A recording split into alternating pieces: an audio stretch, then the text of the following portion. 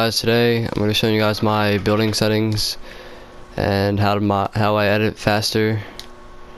So yeah let's just get right into it. It's gonna be a short video but yeah. So first off I use um, Builder Pro controls.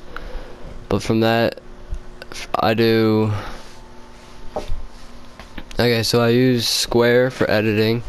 So instead of picking up stuff with Square I use the uh, big pad in the middle which is normally the map button.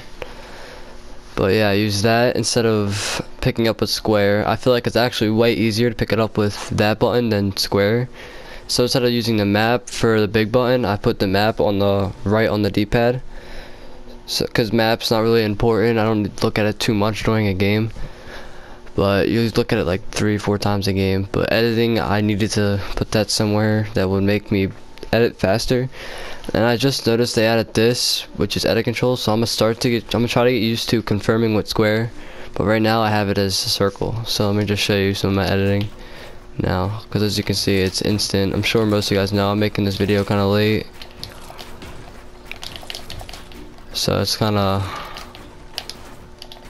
it's kinda easy to get used to for me at least it was. Because I didn't change too many buttons. The hardest thing for me it wasn't even the editing it was more so the picking up weapons that like I had to get used to.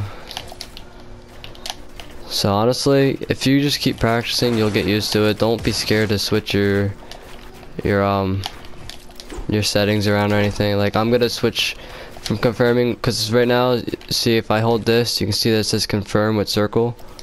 Like say I hit that and it says confirm with circle.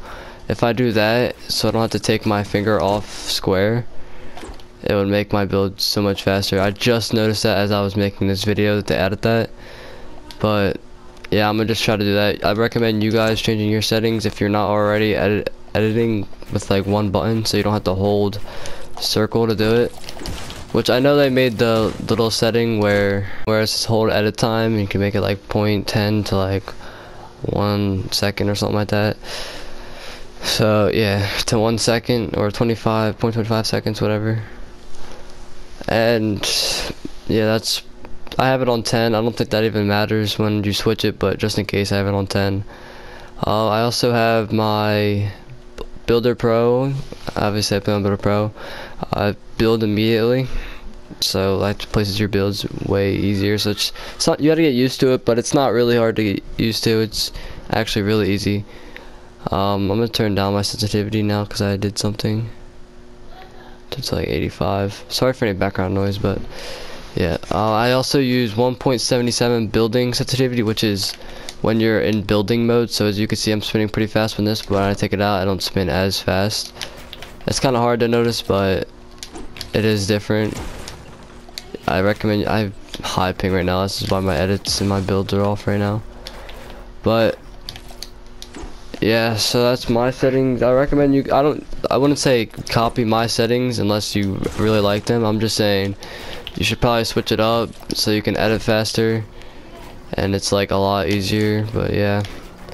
Sorry if i stuttered at all in this video because i do that a lot. But anyways uh see you guys in the next video. I'm out